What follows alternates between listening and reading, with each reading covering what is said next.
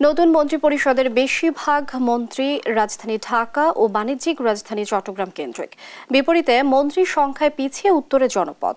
খুলনা, বরিশাল, সিলেট ও ময়মনসিংহ প্রায় একই অবস্থা। বিস্তারিত ফজলে আদিত্যর রিপোর্টে।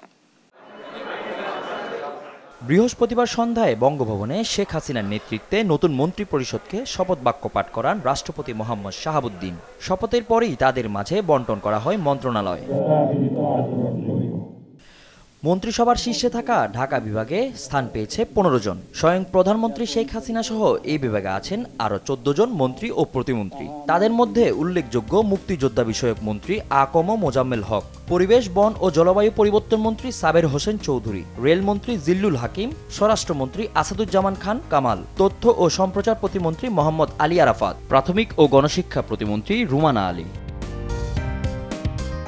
দ্বিতীয় শীর্ষে থাকা চট্টগ্রাম বিভাগে পেয়েছেন নজন মন্ত্রী ও প্রতিমন্ত্রী। তাদের মধ্যে আছেন সড়ক পরিবহন ও সেতু মন্ত্রী ওয়াইদুল কাদের আইনমন্ত্রী আনিসুল হক, পররাষ্ট্রমন্ত্রী হাসান মাহমুদ, সমাজ কল্যাণ মন্ত্রী ডাক্তার দীপুমণি ও শিক্ষামন্ত্রী মহিবুল হাসান চৌধুরী।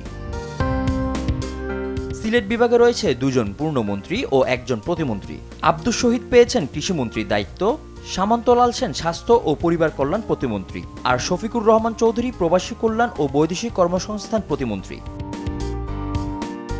খুলনা বিভাগ পেয়েছে দুজন পূর্ণমন্ত্রী নারায়ণ চন্দ্র চন্দ ভূমি মন্ত্রণালয়ের দায়িত্ব আর জনপ্রশাসন মন্ত্রণালয়ে ফরহাদ হোসেন।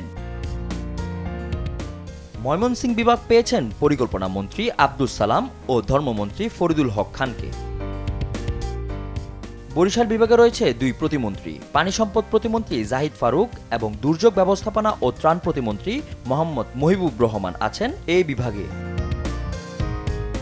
রাজশাহী বিভাগে সাধন চন্দ্র মজুমদার পেয়েছেন খাদ্য মন্ত্রণালয়ের দায়িত্ব আর জুনায়েদ আহমেদ পলক, ডাক টেলিযোগাযোগ ও তথ্য প্রযুক্তি প্রতিমন্ত্রী।